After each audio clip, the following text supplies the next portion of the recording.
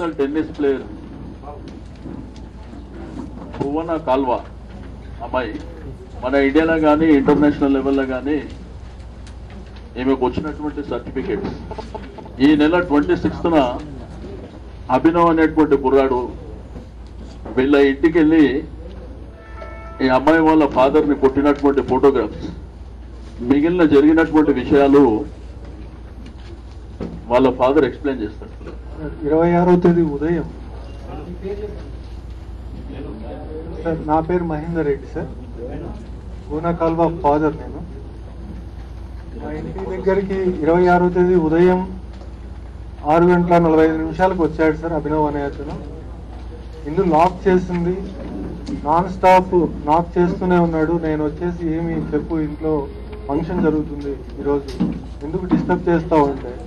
గట్టిగా అరుస్తూ నన్ను విపరీతంగా కొట్టాడు సార్. ఒక చేతిలో నైఫ్ పట్టుకొని ఒక చేతితో పిడిగుద్దులు గుద్దుతూ నన్ను ఒక సుమారు అర్ధ గంట sir half an hour thirty minutes నన్ను నాన్ స్టాప్ కొట్టాడు సార్. వాళ్ళ వాళ్ళు కింద వాచ్మెన్ ఇంట్లోంచి నా వైఫ్ వాళ్ళందరూ అరుస్తుంటే వదిలి పరిగె పారిపోయాడు సార్ అతను. నేను ఇమ్మీడియట్గా నేను ఇమ్మీడియట్గా తుకారం గేట్ పిఎస్కు పోయి కంప్లైంట్ చేసినాను సార్.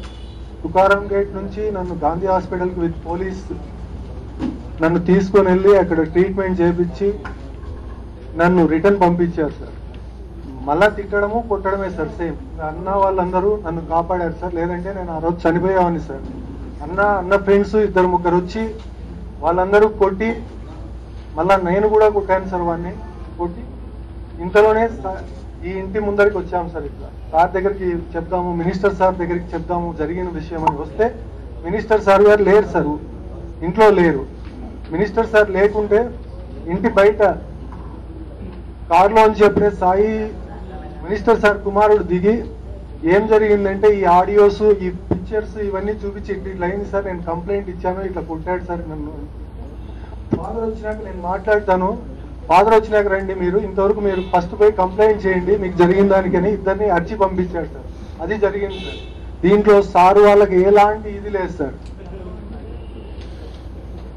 నా పేరు భువన అండి. నేను ఇంటర్నేషనల్ టెన్నిస్ ప్లేయర్ ఇట్లా మాకు డైలీ స్కెడ్యూల్లో జిమ్ ప్రోగ్రామ్ ఉంటుంది. రోజు మేము జిమ్కి వెళ్తాము. అట్లా జిమ్కి వెళ్తూ ఈవినింగ్ నాకు పరిచయం అయ్యాడు అభినవ్. లాస్ట్ ఇయర్ నవంబర్లో పరిచయం అయ్యాడు అది కొంచెం ఫ్రెండ్షిప్ లాగా మారి నేను ఒక టోర్నమెంట్కి వెళ్ళాను మేలో ఇయర్ వెళ్ళినప్పుడు నేను అక్కడ ఓడిపోయాను. మ్యాచ్ ఓడిపోతే మా డాడీ నన్ను విపరీతంగా తిట్టాడు. నాకు చెప్పాను. చెప్తే నువ్వు వచ్చేసేయి అన్నాడు. నేను ఆ టైంలో ఏమీ ఆలోచించకుండా ల్యాండ్ అవుతూనే అభినవ్ తోటి వెళ్ళిపోయాను. వెళ్ళిపోయినాక డాడీ ఫోన్ చేస్తే చెప్పాను నేను ఇట్లా వెళ్ళిపోయాను అంటే అప్పటి వరకు డాడీకి ఏమీ తెలియదు అభినవ్ గురించి. ఫస్ట్ టైం అప్పుడు అడిగితే చెప్పాను ఇట్లా అభినవ్ అని ఉన్నాడు. సో నెక్స్ట్ డే మేము పెళ్ళి చేసుకున్నాం.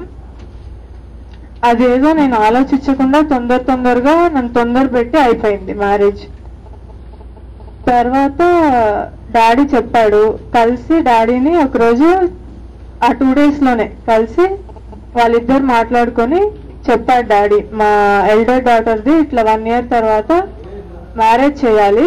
దానికి ఇది ప్రాబ్లం కాకూడదు. వన్ ఇయర్ వెయిట్ చేయండి. తర్వాత ఖచ్చితంగా మీ ఇద్దరికి మ్యారేజ్ చేస్తాము అని చెప్తే వీళ్ళిద్దరి అగ్రిమెంట్ అది. అభినవ్ విని పంపించాడు నన్ను. పంపిస్తే ఇంటికి వెళ్ళిపోయాను నేను. ఫైవ్ మంత్స్ నుంచి ఇంట్లోనే ఉన్నాను చిన్న చిన్న ప్రాబ్లమ్స్ వస్తూ పోతున్నాయి. అదంతా పెద్దగా పట్టించుకోలేదు. ఒక ట్వంటీ డేస్ బ్యాక్ వచ్చేయి ఇంటికి అంటే నేను వెళ్ళిపోయాను ఇంటికి. వెళ్తే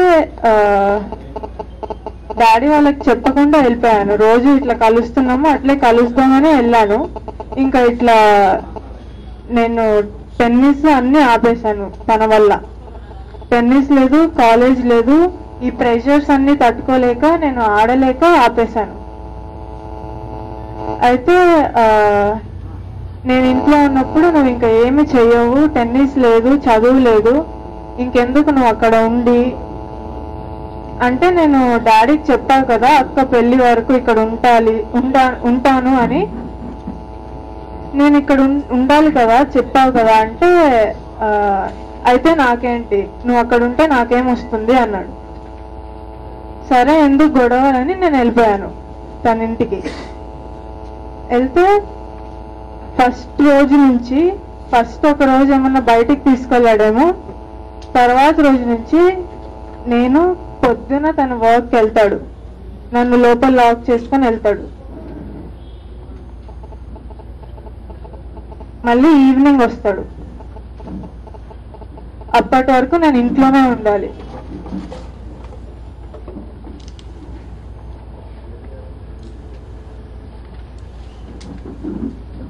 నాకు టెన్నిస్ లేదు కాలేజ్ లేదు. నేను ఇన్ని రోజులు టెన్ ఇయర్స్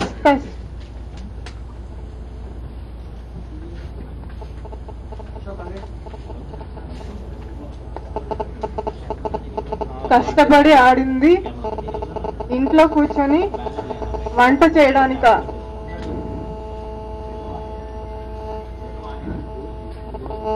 అయినా నేనేం అనలేదు అతన్ని ఇంట్లోనే ఉన్నాను.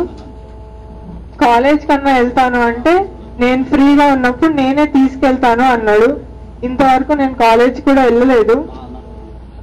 మా డాడీ రోజు నా కోసం వస్తాడు ఇంటికి చూద్దామని. ఒక్క రోజు కూడా నేను తలుపు ఓపెన్ చేసేదానికి నాకు పర్మిషన్ లేదు. మా డాడీ వచ్చి వెయిట్ చేసి వెయిట్ చేసి వెళ్ళిపోతాడు. నేను మా పేరెంట్స్తో కాల్ చేసి మాట్లాడలేను. మా పేరెంట్స్ కాల్ చేస్తే కూడా ఆన్సర్ చేయకూడదు. నాకు ఆ పర్మిషన్ లేదు. తను ఎట్లా చెప్తే అట్లా నేను వినాలి. ఈ ట్వంటీ డేస్లో నాకు ఇది అర్థం అయిపోయింది నేను అంత హ్యాపీగా లేను అక్కడ. నాకు ఎప్పుడెప్పుడు ఇంటికి వెళ్దామా అని ఉండే. మా డాడీ ఏదో ఒకటి చేస్తాడు నన్ను ఇంటికి తీసుకెళ్ళాలి అని నేను కోరుకుంటా నిన్నాను అప్పుడే మా డాడీ కొన్ని రోజుల తర్వాత ఇంటికి వచ్చి ఇట్లా మా అక్కది ఏదో అలయన్స్ ఉంది పెళ్ళి చూపులు నేను ఇంట్లో ఉండాలి. భువనాన్ని ఇంటికి పంపించి ఒక టూ డేస్కి అని అడిగాడు. అప్పుడు వాళ్ళు మాట్లాడారు. మాట్లాడి డాడీ వెళ్ళిపోయాడు. వెళ్ళిపోతే ఈవినింగ్ అభినవ్ డాడీకి ఫోన్ చేసి నాకు త్రీ క్రోర్స్ డబ్బులు ఇవ్వండి. అప్పుడు భువనాన్ని ఇంటికి పంపిస్తాను. అని చెప్పాడు. చెప్తే డాడీ టూ డేస్కి నా దగ్గర అంత డబ్బులు లేదు. నేను ఇవ్వలేను అని చెప్పి చెప్పాడు. అయితే ఎంత ఉందో అది నా పేరు మీద ప్రాపర్టీ రాసివ్వండి అప్పుడే పంపిస్తాను అని పట్టుబట్టి కూర్చున్నాడు. పంపిలేదు. మళ్ళీ ఏదో వాళ్ళ అండర్స్టాండింగ్ నాకు తెలియదు. తర్వాత ఏమైందో వాళ్ళిద్దరు మాట్లాడుకున్నారు. నన్ను Abhinav twenty fourth night Saturday night drop చేశాడు మా ఇంట్లో. నెక్స్ట్ డే పెళ్ళి చూపులు అయిపోయింది మార్నింగ్ ఈవినింగే వచ్చేసేయమన్నాడు నన్ను. వాళ్ళిద్దరు మాట్లాడుకుంది నేను టూ డేస్ అక్కడ ఉంటాను అని. కానీ ఈవినింగే నన్ను వచ్చేసేయమన్నాడు. నేను రెడీ అయ్యి డాడీని అడిగాను డ్రాప్ చేయి అని.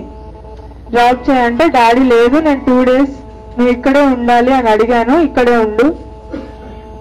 అని అంటే సరే అని నేను అభినవ్ ఫోన్ చేసి ఇంకా వన్ డేనే కదా ఇక్కడ ఉంటాను ఏమవుతుంది అని అంటే నువ్వు ఈ రోజన్నా రా లేకపోతే ఇంకెప్పుడు రావద్దు మా ఇంటికి అన్నాడు.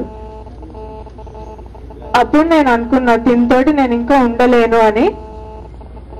అయితే నేను ఫుల్ వెయిట్ చేస్తే మా డాడీ వాళ్ళు వచ్చి అడిగారు ఏంటి ప్రాబ్లం? అని అడిగితే ఇట్లా చెప్పాను నేను ఇట్లా ఇంట్లో ఉంటున్నాను నేను హ్యాపీగా లేను అంతా చెప్తే డాడీ వాళ్ళ దగ్గర ఉన్న రికార్డింగ్స్ అవన్నీ నా గురించి ఎట్లా మాట్లాడారో నా క్యారెక్టర్ గురించి అవన్నీ అర్థమైనాయి నాకు అభినవ్ గురించి. ఇట్లా ప్రాపర్టీ డిమాండ్ చేయడం అవంతా నాకు నచ్చలేదు. నేను డిసైడ్ అయిపోయినా ఇంకా తన దగ్గరికి వెళ్ళనని. అయితే నేను ఫోన్ చేసి చెప్పేసాను నీ దగ్గరికి నేను ఇంకా రాను. అయిపోయింది అని చెప్తే ఇంకా నెక్స్ట్ డే ఇది కూడా తెలిసింది నాకు అప్పుడే. నేను ఇంటికి వెళ్ళినప్పుడు తెలిసింది తనకి ఆల్రెడీ ముందు మ్యారేజ్ అయిపోయిందని. వాళ్ళు చెప్పేశాను. చెప్తే నెక్స్ట్ డే మార్నింగ్ వచ్చి గొడవ చేశాడు. ఫైవ్ మినిట్స్ నేను భూమిని కలవాలి మాట్లాడాలి అంటే డాడీ లోపలికి రానిలేదు. రానికుండా వాళ్ళిద్దరి మధ్య ఏదో ఆర్గ్యుమెంట్ అయింది. అభినవ్ డాడీని విపరీతంగా కొట్టాడు. అది నేను మేమందరం లోపల నేను చూస్తూ అరుస్తున్నాం. కొట్టాడు. తర్వాత మళ్ళీ ఏమన్నా అవుతుందేమో అని తన తన ప్రొటెక్షన్ కోసం తొందరగా అక్కడి నుంచి వెళ్ళిపోయాడు. అక్కడ లేడు. తర్వాత డాడీ పోలీస్ స్టేషన్కి వెళ్ళి హాస్పిటల్కి వెళ్ళి అంతవరకు నాకు తెలుసండి. దాని తర్వాత నేను చూడలేదు కాబట్టి నాకు ఏది నిజమో అవేం తెలియదు. తర్వాత డాడీ చెప్తాడు.